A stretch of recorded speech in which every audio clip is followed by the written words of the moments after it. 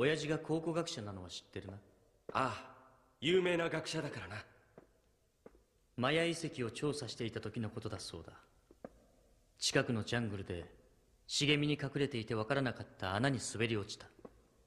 地面にぽっかり開いた小さな穴だが中は意外に深かったそうだ。親父は急な斜面をどこまでも滑り落ちていった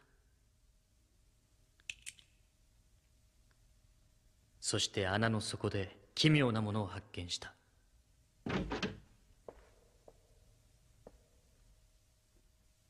やだな。暗いな。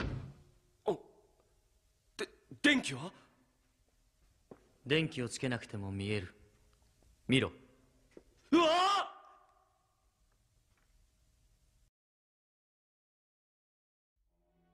！When Wimpy Akira Fudo is reunited with his old friend, the mysterious Ryo Asuka, he is taken to Ryo's family mansion and told that there is a great evil declaring war on the human race. The world of demons is planning to take back the world from the current residents, and Ryo wants Akira to stop them.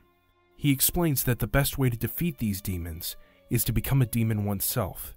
So Akira is left with a choice to leave his human life behind and become the dark hero, Devilman. When you consider the kind of anime coming out in the 1980s, especially in the OVA market, it makes sense that this would be the era of anime where we would see the first manga accurate adaptation of Devilman, 15 years after the series' conception.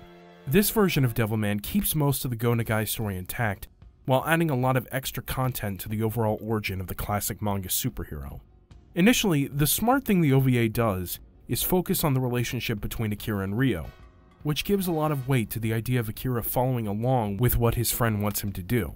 What helps some of the minor cracks in the foundation is the OVA's sense of style. The designs, the direction, and the animation all give the audience something memorable, for better or worse. The monster designs are all pretty creative, which is what the viewer would want from a Devilman anime, and it has no intention of watering itself down for the mass market.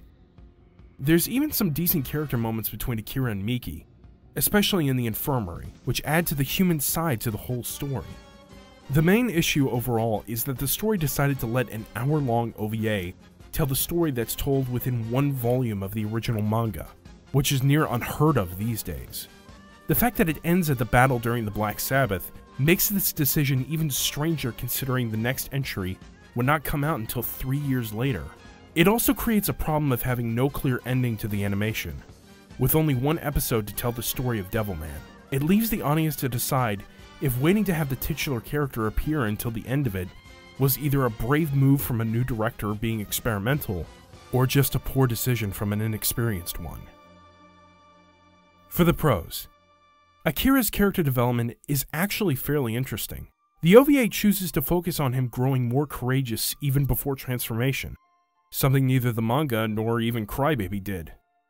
It gives his decision to become Devilman more weight and shows what kind of person he was before he transformed. There's a good, straightforward sense of style for the character designs. The designs managed to stay faithful to the originals while rebranding them for an 80s audience. For the cons, it seems to suffer from a lot of tonal issues.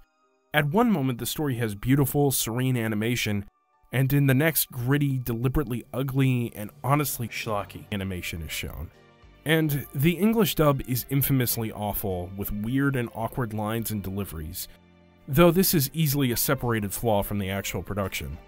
Some may enjoy the dub for the camp value, but if you're looking for something more serious, you won't get it from the English dub.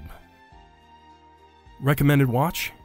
There's a lot of reasons to watch the original Devilman OVA. However, if your reason is to watch the titular character make ways to some demons with OVA level animation quality, you won't get it. It's hard to sell something Devilman that barely has him in it. The story is strictly Akira's, and if that's all it was meant to be, it wouldn't be half bad. Another thing to consider is the viewer's tolerance for gore and animation. It's rare to find an anime fan who doesn't have a stomach for it, but if you are a little uneasy about it, keep in mind this is an adaptation of Devilman from the 1980s. Devilman the Birth is not currently licensed, but you can find movies and series like it, such as the 1970s Devilman or Wicked City, at rightstuf.com, discotekmedia.com, funimation.com, and sentaifilmworks.com. Stay classic.